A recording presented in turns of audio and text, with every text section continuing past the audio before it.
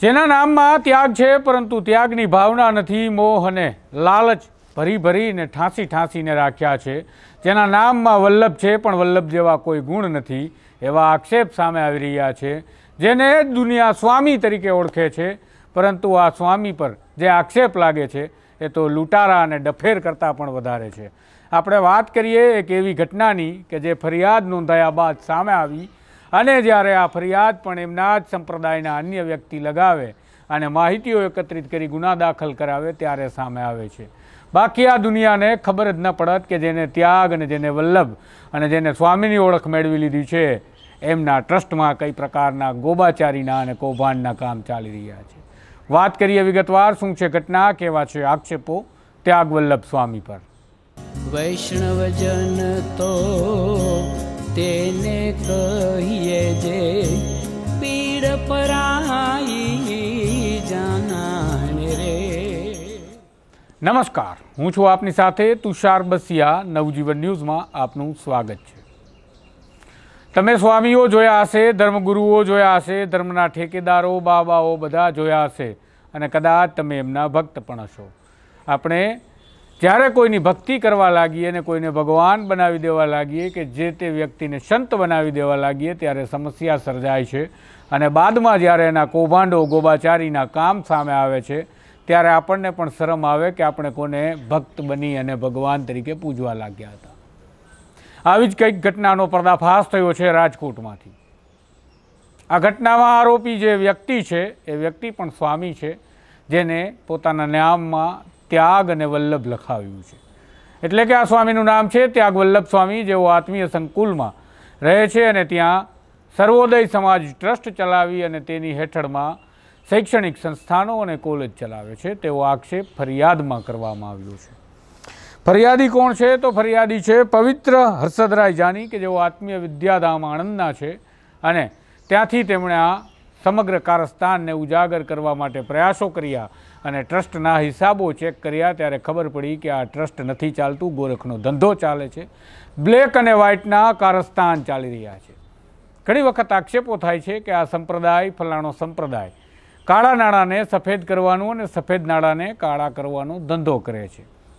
કોઈ પુરાવા સામે નથી આવતા ત્યારે આ સંપ્રદાય બચી જાય છે ધર્મની આડમાં કે અમે જ્યારે આ ધર્મના વ્યક્તિ છીએ ત્યારે અમને બદનામ કરવા માટે કાવતરું આવે છે. આ તમારું કૌભાંડ હવે ખુલ્લું પડ્યું છે કે તમે વ્હાઇટ અને બ્લેકના ધંધા કરો છો અને એનો આક્ષેપ તમારો જ વચ્ચેમાંનો એક વ્યક્તિ કરે છે. કારણ કે જ્યારે તકરાર પેદા થાય ત્યારે વિભીષણ બની અને કોઈ લંકાનો નાશ કરવા માટે પેદા થાય. આવી જ ઘટના બની છે, ફરિયાદી બન્યા છે પવિત્ર હર્ષદરાય જાની. મેં તમને કહ્યું એ પ્રકારે. પરંતુ પોલીસની ભૂમિકા જુઓ તારીખ નવ છ બે હજાર ત્રેવીસ એટલે કે નવ જૂન બે હજાર ત્રેવીસના રોજ રાજકોટના તાલુકા પોલીસ સ્ટેશનમાં આ તમામ વ્યક્તિઓ, આરોપીઓ વિરુદ્ધ ગુનો દાખલ થાય છે. આજે ચૌદ દિવસ થઈ ગયા છે, પરંતુ પોલીસ કોઈને પકડી નથી શકી. વિચારવા જેવી બાબત છે કે ચૌદ દિવસથી આ રાજકોટની બાહોશ પોલીસ શું કરી રહી હતી? શું તેઓ છાવરવાના પ્રયાસ કરી રહ્યા છે કે ચૌદ દિવસ સુધી મોકો આપી રહ્યા છે કે આરોપીઓ પોતાની જામીનની આગોતરા જામીનની પ્રક્રિયા પૂરી કરી લે અથવા તો તેઓને જે કંઈ પણ રેમેડી મેળવી છે મેળવી લે અથવા તો આ કેસને દબાવવાના કામ કરી લે, બાદમાં આપણે એની વિધિવત ધરપકડ કરીશું અને સહયોગ કરીશું.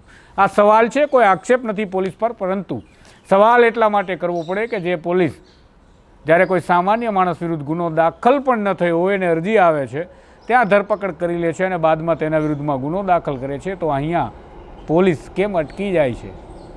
કેમ આત્મીય કોલેજના દરવાજાની ઉમરાને ઓળંગવાની હિંમત રાજકોટ તાલુકા પોલીસ સ્ટેશન નથી કરી શક્યું? કેમ આ આરોપીઓને ઝડપવા માટે રાજકોટ તાલુકા પોલીસ સ્ટેશને જેને ચક્રો ગતિમાન કરવાનું કહે છે, એ ચક્રોને ગતિમાન નથી કર્યા.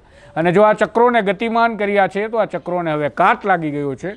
તેને ઓઇલિંગની અને સર્વિસની જરૂર છે, કારણ કે આ કાટ લાગેલા ચક્રો રાજકોટની રક્ષા નહીં કરી શકે, આવા ધતિંગા અને જે આવા કૌભાંડ આચરનારાઓ છે તેની ધરપકડ નહીં કરી શકે. આરોપીઓની જો વાત કરીએ તો ત્યાં વલ્લભ સ્વામીનું નામ ફરિયાદમાં દાખલ નથી, પરંતુ સર્વોદય કેળવણી સમાજના સેક્રેટરી અને વહીવટ કરતા તમામ વ્યક્તિઓનું નામ આ ફરિયાદમાં જોવા મળે છે.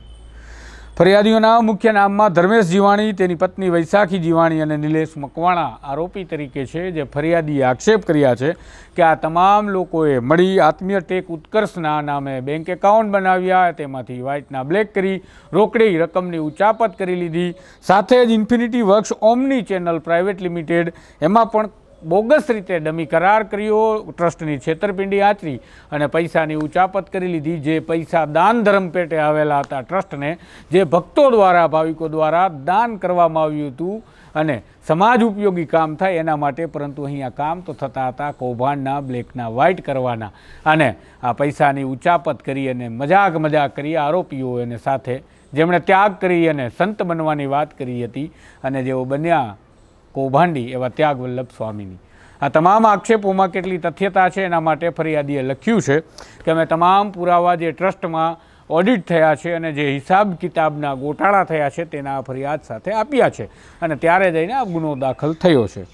અને જો આપણે વાત કરીએ તો રૂપિયા ત્રીસ કરોડની છેતરપિંડીની, તો આ છેતરપિંડીની શરૂઆત કંઈ આજકાલની નથી થઈ, એવો આ ફરિયાદીનો દાવો છે. આ વર્ષોથી ચાલી રહેલું કૌભાંડનું પરિણામ છે.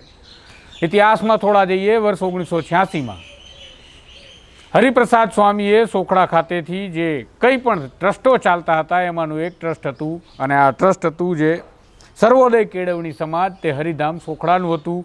એમના તાબામાં આવતા વ્યક્તિઓને ક્યાંક ને ક્યાંક નિમણૂક કરવામાં આવ્યા, એમાં ઓગણીસો છ્યાસીમાં આ ત્યાગ કરી ચૂકેલા ત્યાગ વલ્લભ સ્વામી. રાજકોટનું જે આ આત્મીય સંકુલ છે, ત્યાં સર્વોદય કેળવણી સમાજમાં જોડાયા અને ત્યાં ચલાવી રહ્યા હતા. તેઓ સંચાલન સેક્રેટરી થઈ અને કરી રહ્યા હતા. અને આ સંચાલનમાં હવે ગડબડ ગોટાળા થતા ફરિયાદો દાખલ થઈ છે. અને આ સંપ્રદાયની તો તમે વાત જાણો છો કે અગાઉ કઈ પ્રકારે સોખડા મામલે વિવાદ થયો હતો અને કઈ પ્રકારે આ ઘટના હિંસક બને એ પ્રકારનું વાતાવરણ સર્જી દેવામાં આવ્યું હતું સંતો દ્વારા. તો આ સંતો ભક્તોને આવી શિખામણ આપશે, સંતો બાળકોને આવું ભણાવશે, સંતો કોલેજમાં અભ્યાસ કરતા વિદ્યાર્થીઓને આવી નીતિ આપશે કે તમે કૌભાંડ આચરો, બ્લેકના વ્હાઇટ કરો અને જો આ બ્લેકના વ્હાઇટ કરનારો સંત હોય તો એને સંત કઈ રીતે કહેવો જેણે ત્યાગ કરવાની વાત કરી અને નામ ત્યાગ વલ્લભ રાખ્યું અને પોતાને સ્વામી તરીકે ઓળખાવે છે. આ કથિત વ્યક્તિને સ્વામી તરીકે કેમ ઓળખવું પોલીસે આ મામલે ઊંડી તપાસ કરવી જોઈશે કારણ કે આવા આક્ષેપો જ્યારે જ્યારે લાગે છે ત્યારે સમાજને આશા હોય છે કે ન્યાય થશે. સમગ્ર મામલો સામે આવશે, પરંતુ રાજકોટ તાલુકા પોલીસ સ્ટેશન દ્વારા જે પ્રકારે ચૌદ દિવસથી આ મામલે કોઈ વ્યક્તિની ધરપકડ નથી કરી. અને જે પ્રકારે આરોપીઓને છૂટો દોર આપવાનો પ્રયાસ કર્યો છે તેના કારણે લોકો પણ સવાલ કરે છે. માટે પોલીસ પર ભરોસો પ્રસ્થાપિત થાય એવું કામ રાજકોટ તાલુકા પોલીસ કરશે તેવી અમે આશા રાખીએ. નવજીવન ન્યૂઝ જોતા રહેજો. આ ચેનલને તમે લાઇક અને સબસ્ક્રાઇબ કરી લેજો, કારણ કે પડદા પાછળની સ્ટોરીઓને અમે બતાવતા રહીએ છીએ. નમસ્કાર.